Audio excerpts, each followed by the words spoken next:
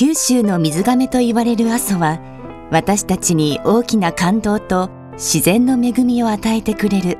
心のふるさとでもあります。一方で阿蘇の文化産業経済の発展は先人たちのたゆまぬ挑戦と近代のインフラ整備に支えられまた美しくも厳しい自然との共生の歴史でもありました。明治時代豊後街道二重の峠に代わる新たな道として大津から坂梨に至る現在の国道57号ルートが開通。大正7年国鉄豊肥線熊本宮地間が開通。農林業鉄鋼業はもとより日常生活物資の輸送が荷馬車から鉄道にとって変わりました。昭和28年白川大水害。豪雨により白川は瞬く間に増水し阿蘇では土石流が頻発。同年4月に大噴火した阿蘇山の火山灰ヨナも相まって白川流域の広範囲に泥流による空前絶後の被害をもたらしました。昭和30年代に入り日本は高度経済成長期へ突入。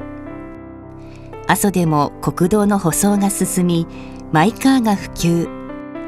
阿蘇山上の観光開発も進みました。そして平成に入ると阿蘇を次々と災害の猛威が襲います。平成2年一宮災害。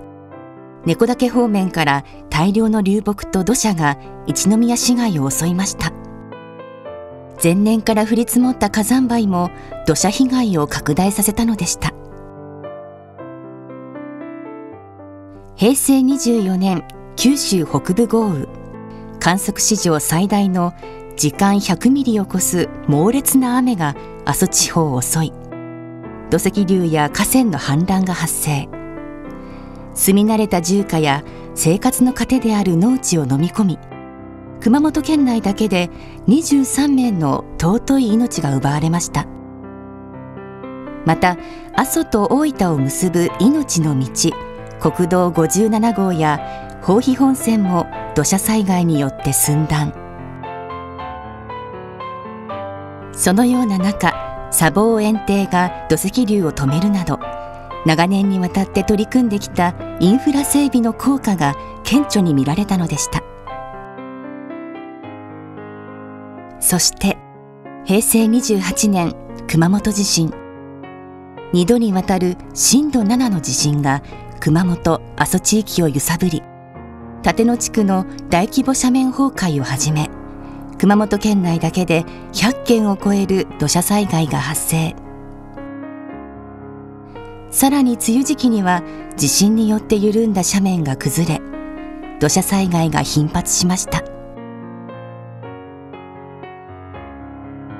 古来より美しくも厳しい自然と人々が共生してきた阿蘇。熊本地震による爪痕が依然として地域の発展に大きな影響を与え続けている中世界ジオパークへの再認定などその世界的な評価がますます高まりつつあります。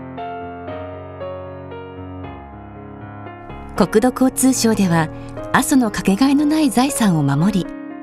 安全安心な暮らしを実現するため平成30年度より直轄砂防事業に着手することとなりました。